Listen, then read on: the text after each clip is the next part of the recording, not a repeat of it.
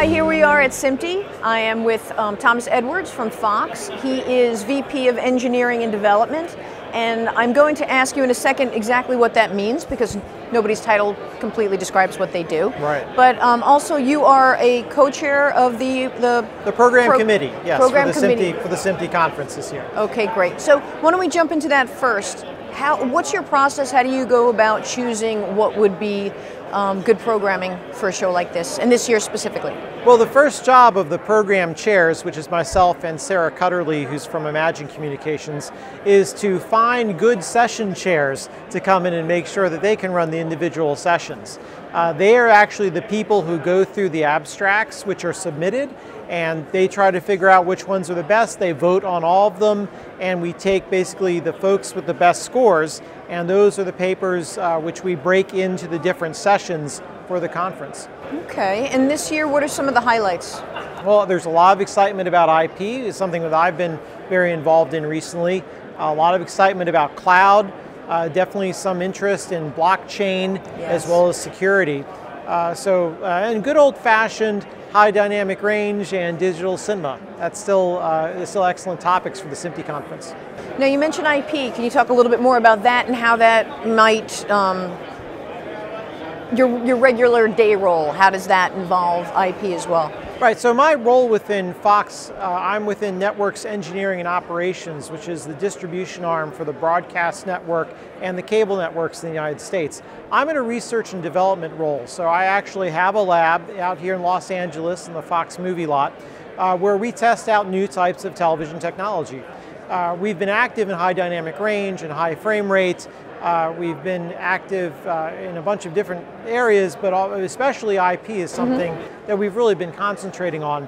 You know, I've seen the potential of IP to provide incredible enhancements in the density and efficiency of routing broadcast video signals. Uh, and you know, with, with uh, through Fox Sports, we've actually been doing this now for a couple of years in their outside broadcast trucks, and more recently within our broadcast plant, using IP routing capabilities uh, in order to uh, increase the density and efficiency uh, when you have a whole bunch of different HD video signals running through a single cable, obviously that makes your cabling effort a lot easier. Sure. Uh, it allows us to have denser uh, routing switches than we ever could have had with SDI. So as we get up to the 2000 by 2000 or 3000 by 3000 HD signals that we need for a major network center like at Fox Networks Engineering Operations, we need, we need that density.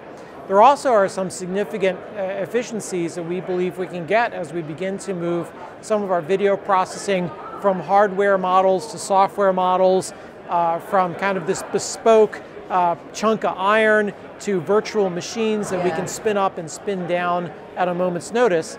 And of course, there's no it, there's no BNC connector on a virtual machine, right? Yes. So IP is the way we have to go in order to achieve that. That's right. So, um, getting back to the SMPTE conference for a second, what do you personally find most exciting about the programming here? Well, I find the IP most exciting. I do? have to yeah, admit, okay. it's it's a thing with me. Um, yeah, I'm also, uh, besides being program chair, I'm also uh, session chair of a couple of IP sessions, which I'm splitting with uh, Hans Hoffmann from the European Broadcasting Union, who's chairing some of the other IP sessions. We've had so many IP papers this year that we've got four different uh, sessions of three papers each. Uh, we're very happy that we've had so many excellent submissions from the industry as everybody's grappling with uh, you know, what are these standards?